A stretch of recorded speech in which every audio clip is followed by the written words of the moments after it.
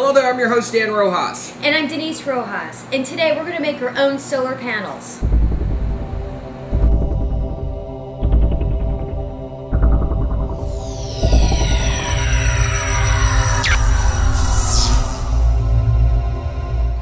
This is the famous Harbor Freight solar panels that we've used in many of our previous videos. Today we're going to be using cells of a different type. There are three basic type of cells used in most solar panels. The least efficient and least expensive of these cells is the amorphous cell. Now this is what the Harbor Freight system is. This, the cells are deposited on glass usually, and there are kits that come with this. They're really tricky to work with. I pretty much don't advise you to try to make these. The nice thing about these, because they are deposited on glass, even though they are uh, less efficient than the other type of cells, is the fact that you can just dunk these in water. You can pretty much do anything with them. They're really, really durable. There's also monocrystalline. Those are hexagon cells. Those are the most efficient and the most expensive. The cell that we're going to be working with today is polycrystalline. These cells are about a watt and a half, almost two watts a piece, and you can get these in lots of 100 or you can get them in just about any size.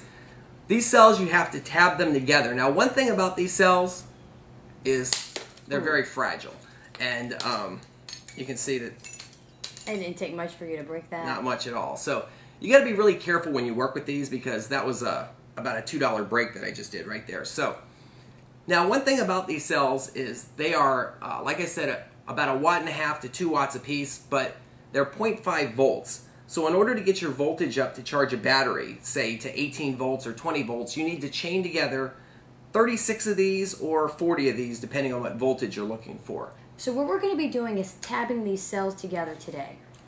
There's basically three different things that you need for this. You need tabbing wire, which is a thin wire that's got uh, a deposited metal on it. This actually solders to the cells.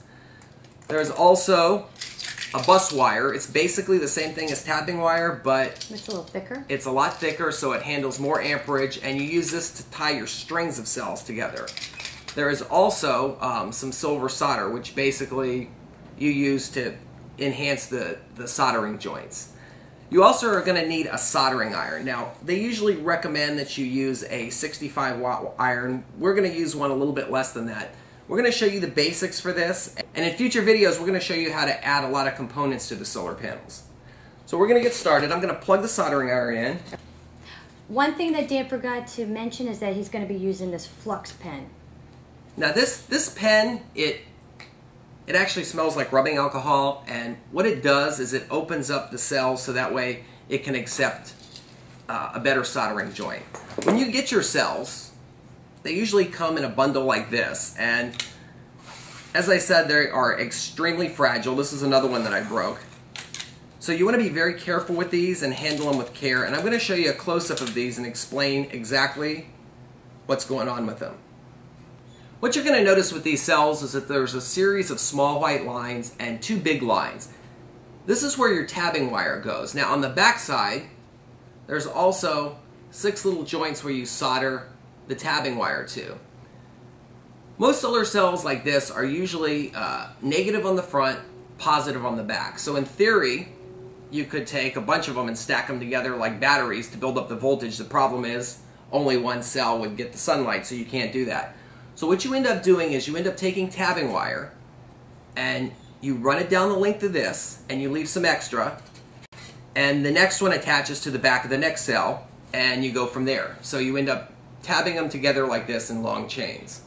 Hmm. And we're going to lay it flat like that. Now you take your flux pen and you basically just go right up and down it. Now it's a good idea not to drink a lot of coffee the day you do this like I did because the steadier your hands are, the better off you are. You want to have your tab wires to be twice the length of the cell. Now I went ahead and cut these in advance. You basically just measure it, double it over. It's a good idea to do all of your tabbing wires in advance. That way you don't have to come back and do this step. Um, also, be careful with your soldering iron. I just grabbed it in the wrong spot and burned my fingers, so I'm going to have two nice blisters. But you basically try to get it started so you know where you're going to end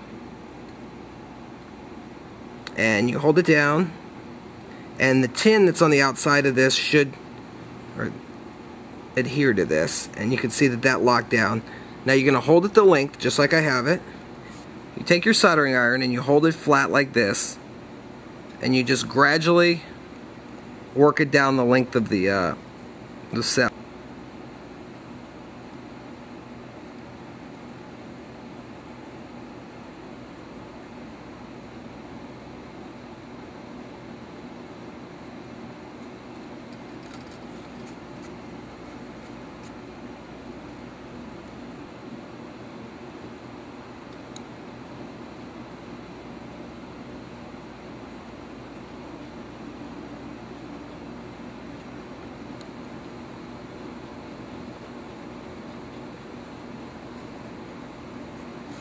Now that you have two of these tabbed, you're going to take them and flip them over and you're going to attach them like this. You're going to want to get this tabbing wire nice and flat.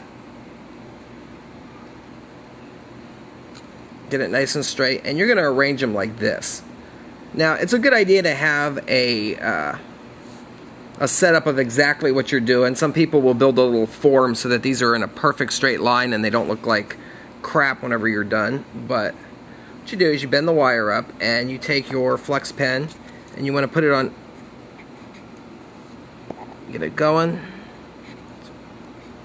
Put it on every single one like that. And now this is an area where the solder actually comes in and you can actually use it for this. Basically Get yourself a nice little bead of solder on there.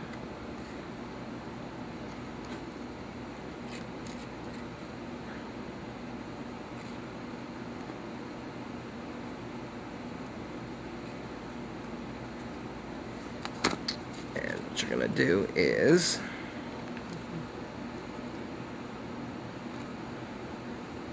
get your tabbing wire position. Now I'm going to use a little clamp to hold it down because this wire does build up some heat. Um, I'm going to get the first one in place over here.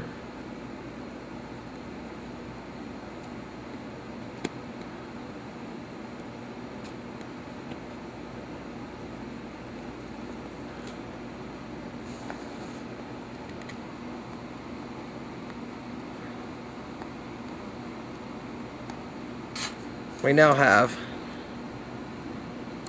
two cells that are joined together. So we're to go outside and we're to see if this produces one volt real quick because you want to test these as you go along. The time to replace a bad cell is now versus once you're completely done with your project. Now the way that you want to test these is you attach your negative lead to the front, which is this tabbing wire here, and then you can touch pretty much anywhere on the back. Alright, so you basically take and we're to test it. I'm to touch this to the back of this, uh, we're hooked here. And you can see that we're getting one volt out of this, which is, these two together produce the one volt. And if I cover them up, they drop. So these two panels, these two cells are actually good to go. So what you, you're to have to do in order to get a uh, something to charge 12 volt batteries like these over here, what you're going to have to do is you're going to have to do this 36 times total. So you're going to need 36 of them to get to the 18 volts that you need. So this is what we did just now. Um, got a couple blisters in the process.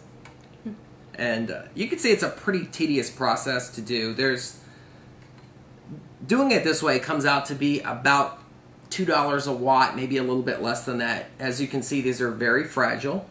They break easily. So you got to encase them really good. So you need to put a glass cover over them. You need to seal this so moisture doesn't get in there. There's really a lot to the DIY process with this. You also to to encase it. Does somebody improv on that, or is there a well, professional case to use? We're going to be doing that in future videos. We're going to be actually um, trying different ideas in order okay. to. Uh, you basically make a frame encase it in glass, seal it so that moisture doesn't get in there. Some people will seal these in resins or waxes, and that's a good way too. You just, uh, it is a pretty tricky process. I personally don't really see I don't really necessarily have the patience to do an entire panel. I, we're going to do it for a video. Well, it seemed a little bit hard to get the soldering and, and the strips on there just right. Uh, Well- but within time, it, it would it would come a lot easier. Yeah, it's definitely a practice thing. And our soldering iron, by the way, is not a good soldering iron for this. You want to get, uh, you want to buy a good one that gets a really good heat build up to it, and it'll be a lot easier. This, uh, It looks great, and so somebody would have to get this. How many times would they have to produce this? For to charge a 12 volt battery, you would need to put these uh, 36 of them to get to 18 volts, or if you wanted 40, uh, 20 volts, you would need to do 40 of these. So does it go in a in a row, or Well, how does that what work? people usually do is they'll do 18 of these, and then 18 of these, and then tie those together so that jumps the voltage up. Okay. And then the bigger panels, if you want to increase the, because 36 of these would produce about 60 watts, 65 watts. So the Harbor Freight system that we have outside is 45 watts. So if you put 36 of these together, make sure I'm doing the math. Yeah, if you put 36 of these together, you would have a more powerful system than the Harbor Freight out there. So it would cost you probably about 100 bucks to do that with these cells, the tabbing wire. You have to take into the account that you're going to break some along the way. Okay. And then you have to add the, the case cost to it. Because sealing these, um, the Harbor Freight system has been out in the sun, it's been out in the rain, it's been dipped in water, some of the smaller panels, and they work fine. This is going to be up to you how well that, that works out. Can it be embedded in in acrylic, or is that too? Yeah, you can you can encase this in resin. You can definitely do that, um, or Okay. different types of resin. You just want to make sure that the contacts all stay good together, that sort of thing. And it's really important to test these as you go along. They won't work. Also, you also need to add some blocking diodes to this because um, you don't want it to drain your battery. You need to make sure the voltage only goes in one direction.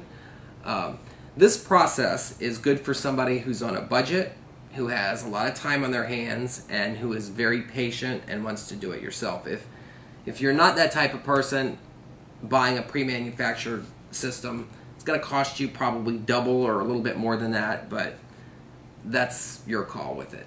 So, Well, I definitely think it's worth completing as many as we have, and and and you know embedding it into something to, to for a future video. right, we spent about $400 on 150 cells, a little bit more than that, and that's the equivalent of about 300 watts. So if we could hmm. get one together, a 300 watt solar panel is well, we wouldn't do one, but if 300 watts of solar panels is pretty expensive to buy. So Yeah.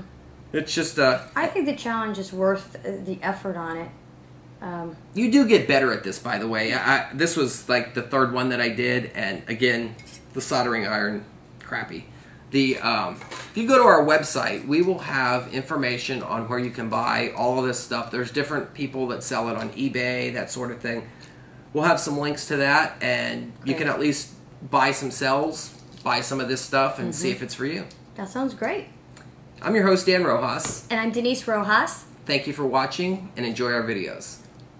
Oh, and don't grab the soldering iron in the wrong place. That really hurt.